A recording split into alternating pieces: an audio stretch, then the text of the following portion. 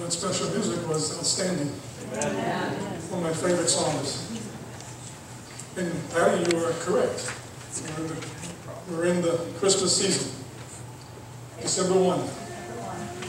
I invite you to open your Bibles to the second chapter of the book of Matthew.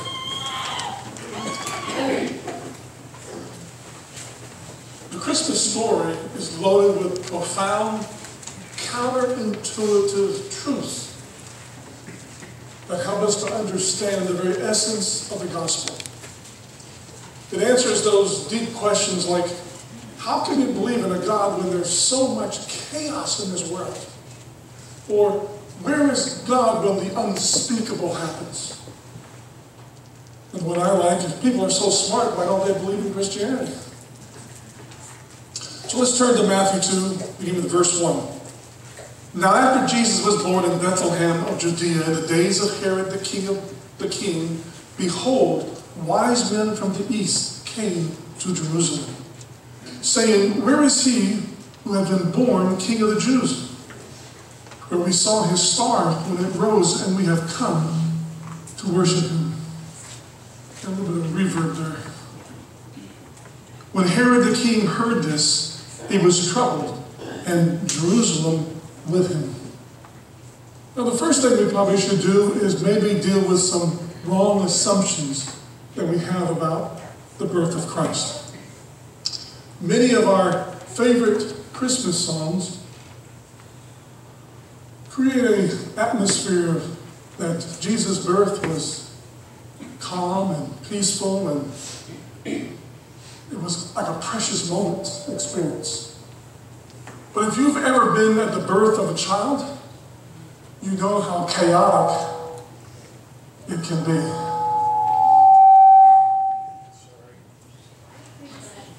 Like our system. Like our system. On June the 12th, yeah, Should be back on there's no volume in that one either. Okay, we're back, right? On June the 12th, Karen's mother woke me up. It was very early in the morning. And she said, We need to get to the hospital now. And Karen's mother was a nurse, but she knew how to be direct with me. The hospital was 50 miles away. So I started driving fast. And her mother kept saying this one phrase over and over drive faster. she didn't want to deliver that baby.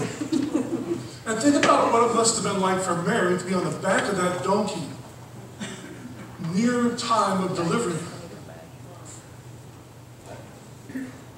Think of Silent Night, a song we just sang. Silent night, holy night, all is calm, all is bright. That's a nice thought, but it doesn't meet reality. And secondly, I really hate to mess up your nativity scene.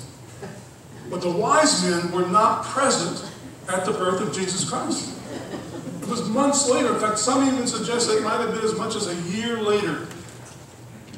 You remember, in Matthew chapter 2, verse 11, doesn't say that, this, that the wise men went to the manger. It says they went to the house where Mary, Joseph, and baby Jesus were. And another one of my favorite Christmas songs, We Three Kings of the Orient are. Well, there's nowhere in the Bible that tells us how many magi's were there.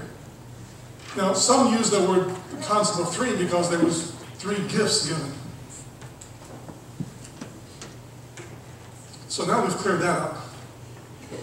Who are the magi? And we, from the word magi, we get the word magician. But these were not magicians.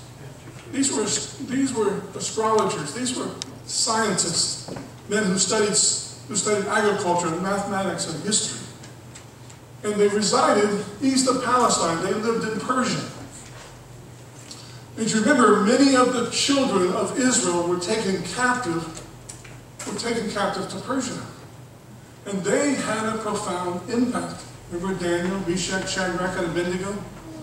And they shared with the with whoever would listen the writings of Moses and the prophets. And these types of magi's would study the Hebrew scriptures.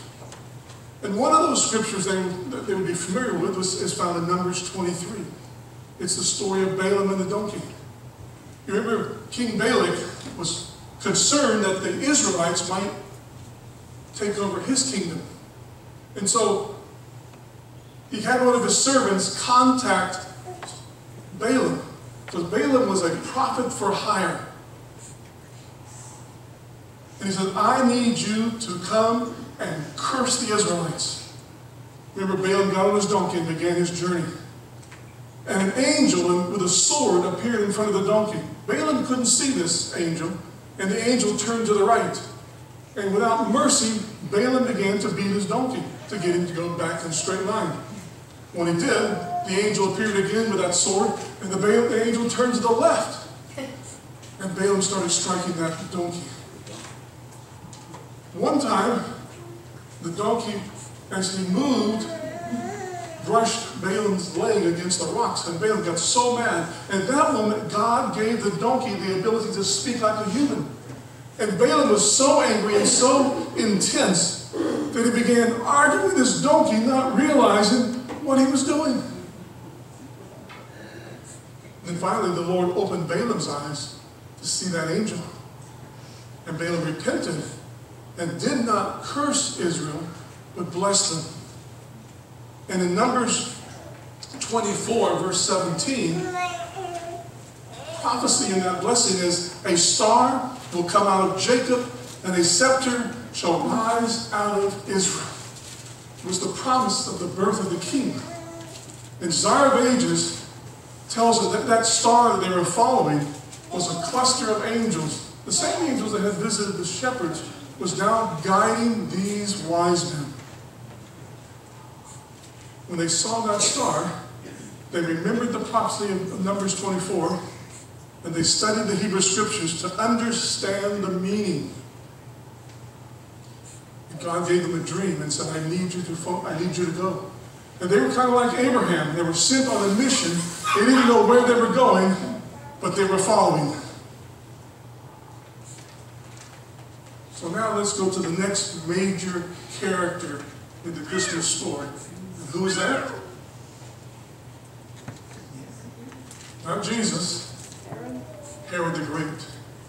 Not so great. Herod the infamous. Herod was an Edomite. He was not a Jew. He did not have the legitimate claim to be king of Israel. And he was also extremely paranoid. And he would kill anybody who he thought was after his kingdom, including his wife and some of his children. The Emperor Augustus said it would be better to be Herod's son than be one of his sons. Notice verse 4 of Matthew 2. And assembling all the chief priests and the scribes of the people, he inquired of them, Where is the Christ to be born? Now, these priests and scribes were students of the word and should have known that the birth of the Messiah would be taking place. But They didn't know, they were just concealing it. Verse 5 says, They told him, In Bethlehem of Judea, so it is written by the prophet. Now, the prophet that Matthew is referring here is Micah. And this next part of the verse, he's quoting Mark, he's quoting Matthew, he's quoting Micah chapter 5, verse 2. And what's significant that Matthew's doing here is that he is referencing Jesus' kingly line. He's reminding his readers the same town that King David was born in, Jesus Christ is being born in. Notice verse 6. And you, O Bethlehem, in the land of Judah, are by no means least among the rulers of Judah. For from you shall come a ruler who will shepherd my people Israel. Maybe you may remember the name Bethlehem means house of bread. And the region of Bethlehem was filled with hills and valleys, and they were covered with fig trees, and olive groves, and grain. Bethlehem was, in a sense, breadbasket of Israel. And remember, Jesus said, taking from this same concept, John 6 35, I am the bread of life. He who comes to me shall not hunger, and he who believes in me shall never thirst. Now you would expect the next verse to say, the priests and the scribes, when they met these wise men, said, Let's go to Bethlehem. Is that what they did? No. No, they were offended that these pagans would come and tell them the king is born. What a tragedy. Verse 7 Then Herod summoned the wise men secretly and ascertained from them what time the star had appeared. Now, the reason that Herod does this is because he believes that the scribes and the priests are plotting to take over his kingdom. So he has a private meeting with the, with the wise men. And then he tells his lie. Verse 8, he went, then he sent them to Bethlehem, saying, Go and search diligently for the child, and when you have found him, bring me word that I too may worship him. Do you think Herod wanted to worship him? No, he wanted to kill him. Verse 9 After listening to the king, they went on their way, and behold, the star that they had seen when it arose went before them until it came to rest over the place where the child was. Verse 10 When they saw the star, they rejoiced exceedingly with great joy. Amen. Isn't that wonderful? Now, Desire of Ages, page 63, tells us at Bethlehem they found no royal guard stationed to protect the newborn king. None of the world's honored men were in attendance. Jesus was cradled in a manger. His parents, uneducated peasants, were his only guardians. Could this be he of whom it is written that he shall rise up the tribes of Jacob and restore the preserved of Israel? And he who shall be a light to the Gentiles and for salvation unto the end of the earth. Verse 11. And going into the house, they saw the child Mary, his mother, and he fell down and they worshipped him. Then they opened their treasures gold, frankincense, and myrrh. That was something we need to observe that Matthew's doing here. There are three synoptic gospels Matthew, Mark, and Luke. They all tell the story about the birth of Christ. They all tell the same story. Matthew is focusing primarily, not exclusively, but primarily on Jewish believers. He wants Jewish believers to understand that Jesus is the King of Israel Amen. and that Jesus is the promised Messiah. So it's no accident that Jesus, that Matthew starts his gospel with a story of the Magi coming and ends his story by telling us that we need to go to the Magi's of the world and preach the gospel. So Matthew bookends his gospel, showing the nations coming to see the Messiah, and ends it telling us that we need to go to the nations and tell them about the promised Messiah. That nation may be your family, it may be your neighbors, it may be your community. The core of the gospel message is that Jesus has come for the nations. Matthew wants us to understand that Jesus is not a Jewish Savior. He's not a Gentile Savior. He's not a North American division Savior. He is the only Savior. He is our only hope. There is no hope for forgiveness outside of Jesus. He is the cure for our sin problem. And our mission, our ministry, is to reach out to the nations and invite them to discover Jesus for themselves. Our job is to share Christ and to invite them to love Jesus as much as we do. So we cannot be content in playing church while our family, friends, and neighbors don't know Jesus. Matthew stamps the Christmas story with the evidence that God is in absolute control. Know, God knew that the Roman government would require every nation to be counted, and that this would move Mary and Joseph to Bethlehem, just as the prophecy said. Our God controls the heavens. He controls donkeys. He controls governments. There's not one square inch of the universe where God is not in control. And when the worst chapters of your life happen, remember that God is in control. The devil wants you to let go. It's like being in the ship in the midst of a horrific storm and the devil wants you to jump out. We need to stay in the ship, the ship of salvation.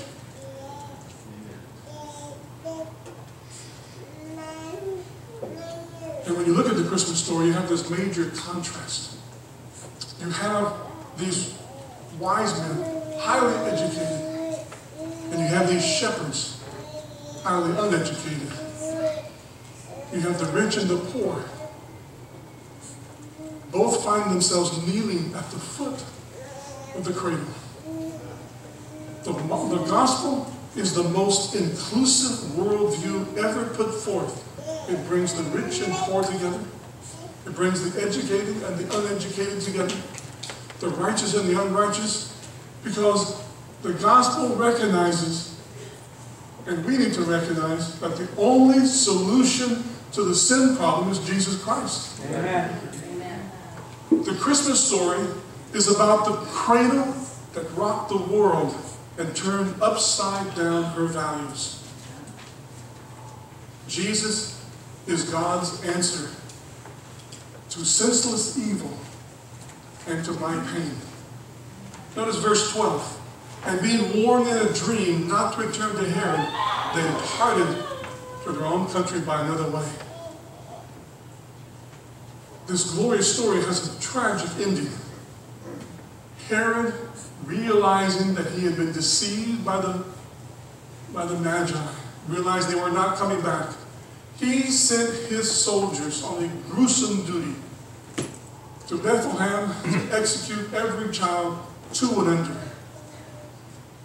I've always wondered, how could those soldiers do that? But Matthew is telling us that in the midst of all this horror, there is hope. Notice Matthew 2.15. Out of Egypt I have called my son. And Matthew is intentionally referencing the Exodus from Egypt, in which God took the children of Israel out of that brutal slavery they were experiencing. And then chapter 2, verse 18.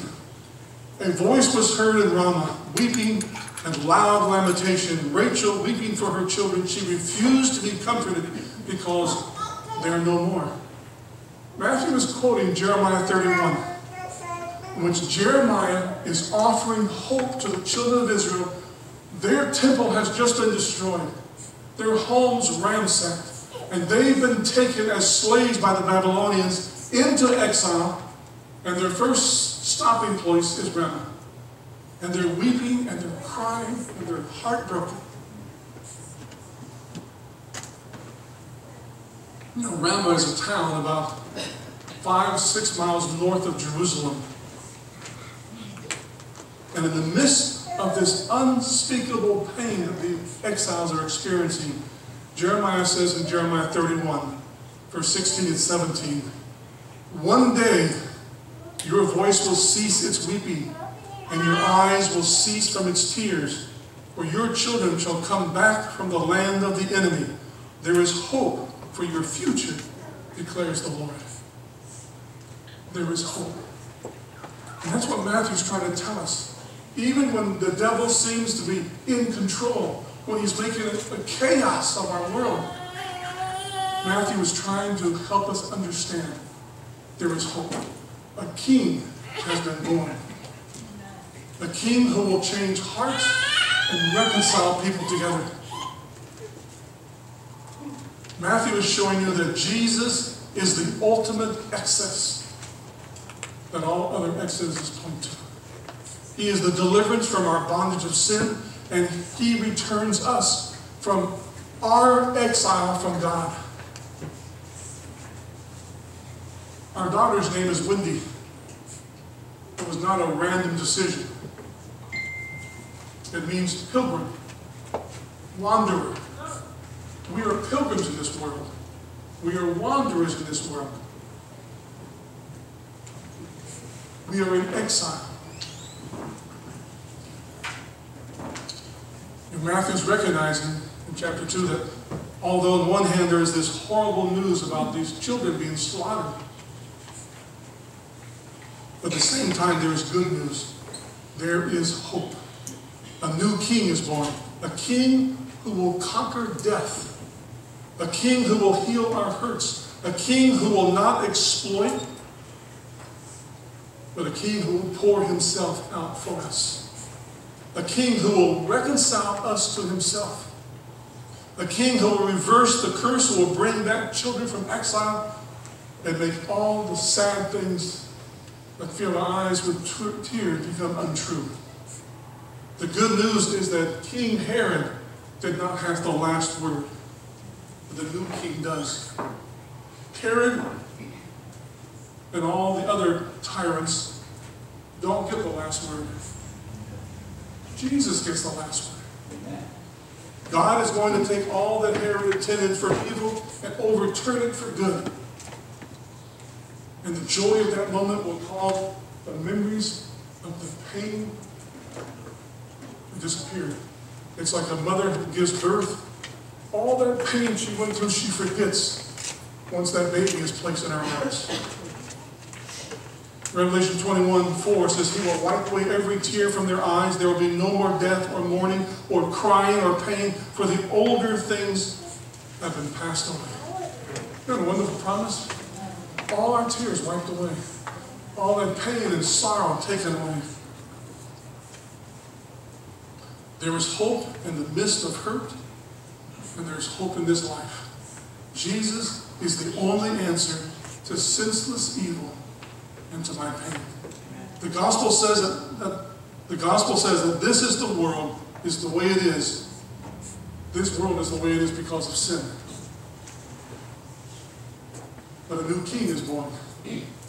One who will bring an end to all that because he bore the curse of sin in our place. He's one day going to come back and restore this world back to the way it was. Those things that we lost in tragedy, we brought back and reunited with us. So again, this is the cradle that rocked the world. And the most profound question in the world are answered by the birth of a small baby in a manger. So as you prepare for Christmas and as you go shopping and find all those crowds, remember the one gift that Jesus is looking for under your Christmas tree is the one that says, This is my heart. I surrender to you. Let's pray. Father in heaven, thank you, Lord, that, that you inspired the gospel writers to share with us the story of the birth of Christ. And thank you for the promise that you will bring an end to all this chaos. Thank you, Lord, that we can be a witness, a witness for you to our families, to our friends, to our neighbors, to our community. Lord, help us to never lose hope. In Christ's name we pray. Amen.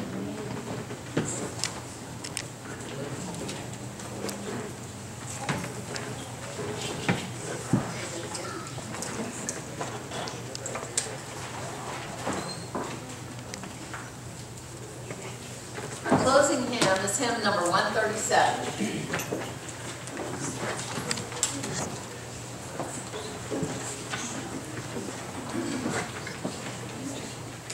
And when we finish, you just go through the back doors and straight across, that's our fellowship luncheon.